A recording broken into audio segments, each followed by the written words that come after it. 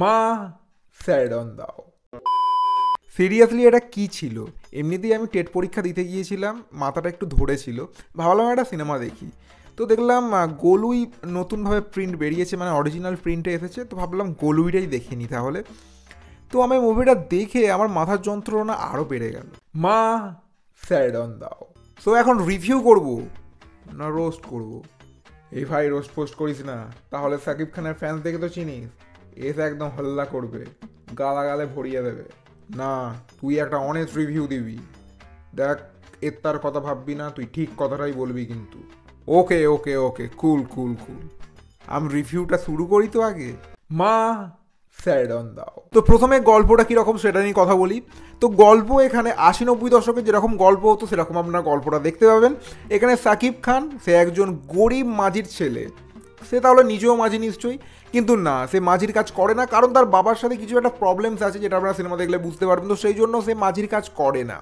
এবার এখানে পূজাচেরি অর্থাৎ এই গল্পের যে নায়িকা, সে হচ্ছে একটা রাজকন্যা বলতে পারেন মানে রাজবাড়ির মেয়ে বা কোনো জমিদার বাড়ির মেয়ে বলতে পারেন। তো এবার ব্যাপার হচ্ছে এদের দুজনের মধ্যে একটা প্রেম তৈরি হবে, যেটা আমার ট্রেলার দেখেও বুঝতে পেরেছিলেন। এবার ওই গরিব আর বড় লোকের মধ্যে প্রেম তো এবার ব্যাপার হচ্ছে তাদের এই প্রেমটা কি বিয়ে পর্যন্ত এগোবে না তার আগে অনেক কিছু কাণ্ড ঘটবে? কারণ বড় লোক গরিবের প্রেমটা টেকে না বস এই যে নীতিবাক্যটা আপনাদের দিলাম, এটা আপনারা বহু যুগ থেকে শুনে আসছেন, তো গল্পটাও কিন্তু সেরকমই মা স্যাড অন দাও তো এবার আপনাদের এদের বিয়েটা আদৌ হচ্ছে কি হচ্ছে না এবং বিয়েতে আপনারা নিমন্ত্রণ পাবে কি পাবেন না, সেই সব দেখার জন্য আপনাদের এই সিনেমা অর্থাৎ গলুইটাকে দেখতে হবে বস এই মুভির আমার কিছু পজিটিভ দিক সেরকম মনেই হয়নি। কয়েকটা গান ছাড়া, দু একটা গান মনে তবু একটু শুনতে ভালো লাগছিল বাদ বাই কিছু আমার পজিটিভ দিক মনে হয়নি। মা স্যাড অন দাও। এখানে প্রত্যেকটা জিনিসই নেগেটিভ দিক বলতে হয়। কারণ ভাই কি মুভি বানিয়ে দিয়েছে? আমি দু ঘণ্টা বাইশ মিনিট দেখলাম, কি দেখে গেলাম শুধু আমি ভাবছি। মা স্যাড অন দাও। তো এখানে আপনাদের একটা কথা বলছি, এই গল্পটাকে আপনারা বলতে পারেন ফ্যামিলি ড্রামা বা বলতে পারেন রোম্যান্স ফ্যামিলি ড্রামা এই টাইপের একটা ক্যাটাগরির মধ্যে ফেলতে পারেন, কিন্তু সেটাতেও ফিট বসে না। কারণ এক্সিকিউশন বড্ড পুয়ার হয়েছে। এখানে কিছু জিনিস আপনাদের বলতে চাই, এই গল্পটা কীরকম দেখানো হচ্ছে? যে তার বাবা খুবই গরিব মানে সাকিব খানের বাবা খুবই গরিব এবং সাকিব খানের বাবা মারাও যাচ্ছে। তারপরে তার যে ফ্যামিলির দায়ভারটা সাকিব খানের উপর পড়ছে, তার একজন মা আছে তো আর ফ্যামিলিতে কেউ নেই বাট তার মা আছে এবং তার মাকে ভালো করে রাখার জন্য পয়সার দরকার। কিন্তু সেই মাঝির কাজটা করে না, কারণ আপনাদের বললাম তার বাবার সাথে কিছু প্রবলেম ছিল। কিন্তু সে মাঝির কাজটাও করে না এবং অন্য কিছু কাজ করে না। তাহলে তারা জীবিকা নির্বাহ করছে কি করে? এই কোয়েশ্চেনটা কিন্তু আপনাদের মধ্যে আসবে। কিন্তু তার উত্তর আপনারা পাবেন না। মা স্যাড অন দাও। তো এখানে দেখাচ্ছে সে খুব মজায় থাকে, সে আনন্দে থাকে, তার অত কিছু পিছু টান নেই। একটা জিনিসকে তো ভালো করে এস্টাবলিশ করতে হয়। তার বাবা মারা গেল, তাদের দারিদ্রতা কতটা কষ্টের দিন কাটাচ্ছে, সেই জিনিসপত্রগুলো তো দেখাতে হয়, তবে তো দর্শক কানেক্ট করবে। আর অপরদিকে এখানে পূজাচেরিকে দেখানো হয়েছে, তার মা বাবা নেই। তো সেই জন্য যে বন্ডিংটা বাবা মায়ের, সেই জিনিসটা এখানে ফুটে ওঠেনি, তার শুধু একজন নানাকে দেখানো হয়েছে। এবং ওই তার বন্ডিংটা ফুটে ওঠে না বলে আমরা সেই ফিলটা করতে পারি না, যে ফ্যামিলির মধ্যে যে ফিলিংসটা তৈরি হয়, সেই জিনিসটা এখানে কোথাও নেই। তো ডিরেক্টরের উচিত ছিল তার বাবা মাকে দেখানো, তার বাবা মাকে এখানে এস্টাবলিশ করা, বা তার বাবা মা মারা গেছে, সেই জিনিসটাকে আমাদের সামনে তুলে ধরা, কিছু ফ্ল্যাশব্যাক কিছু দেখানো উচিত ছিল সেরকম যে তার বাবা মা নেই, এইভাবে মারা গেছে। তাহলে দর্শক ইমোশনাল হয়ে পড়তো, সেই জিনিসটাও এখানে কোথাও হয়নি। এবং এইসব সিনেমার কনক্লুশন কি হতে পারে আপনারা জানেন? দু রকমের হয়। একটা হচ্ছে তার কাছে চলে আসবে সব কিছু মিটে যাবে, আর একটা হচ্ছে তার থেকে দূরে চলে যাবে। এবার দুটোর মধ্যে একটা জিনিস এখানে হবে, কি হবে আমি বলতে চাইছি না। এবার এই সিনেমাটা তো কোনো যে সাসপেন্স থ্রিলার ওই টাইপের সিনেমা নয়। এটা একটা ফ্যামিলি ড্রামা বলতে পারেন রোমান্স ড্রামা যেরকম আপনাদের বললাম। তো ওই ক্যাটাগরিতে এটা পরে তাও ফিট বসে না। তো ওই রকমই একটা এন্ডিং এখানে রাখা হয়েছে। মা স্যাড অন দাও এবার এই সিনেমার কিছু আপনাদের সিনস বলতে চাই, যেগুলোকে যেরকমভাবে করেছে মানে আপনার জাস্ট হাসি পাবে। প্রথমে একটা সিন আছে যখন বাচ্চাবেলা সাকিব খানকে দেখানো হচ্ছে আর পূজাচেরিকে দেখানো হচ্ছে। সাকিব খান পূজাচেরির বাড়ির সামনে দিয়ে যাচ্ছে এবং তাকে বলছে, পূজাচেরি বলছে, আমাকে ফুলটা পেরে দাও না। সে বলে, ফুলটা পেরে দেবো, কি করবে? বলছে, তোমাকেই ফুলটা দেবো। মানে প্রথম থেকেই মানে ছোট থেকেই হাওয়াসি দেখিয়ে দিতে হবে যে ছোট থেকেই একদম পেছন পাকা হয়ে গেছে।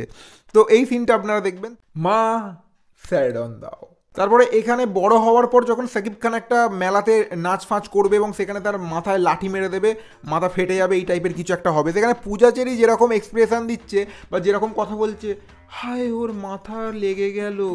ওকে একটু সেলাই করতে হবে তো। আরে ভাই, ওর মাথা ফেটে গেছে। ওকে পিঁপড়ে কামড়ায়নি। তো মানে এক্সপ্রেশনটাই কীরকম কীরকম ধরনের বলছে? এইগুলো সত্যি হাসি পায়। মা স্যারডন দাও।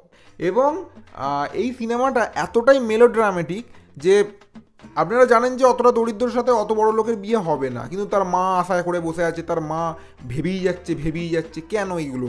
এইগুলো এরকম রাখার কি দরকারটা এত মেলোড্রামেটিক কী করে হতে পারে? আমরা বাংলাদেশের যে ওয়েব সিরিজগুলো দেখছি, কিছু সিনেমা দেখছি, হাওয়া বলুন না কেন যে ওয়েব সিরিজগুলো আসছে, সেগুলো কত সুন্দর হচ্ছে, অন্য ধরনের হচ্ছে। কিন্তু এরা না। সেই পুরাতন যুগের আদিম জিনিস, সেই জিনিসপত্রগুলোকে এখানে এখনও দেখিয়ে যাবে। এবার বলতে গেলেই তাদের ফ্যান্সরা এখানে গালাগাল করবে।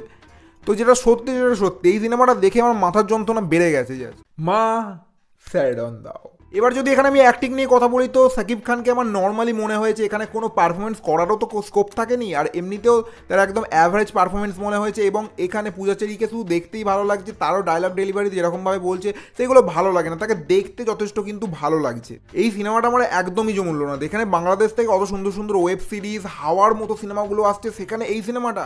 মা স্যারডন দাও। ভাগ্যিস আমি এই সিনেমাটা কলকাতায় দেখিনি মানে যখন ফিল্ম ফেস্টিভ্যালসে হচ্ছিল।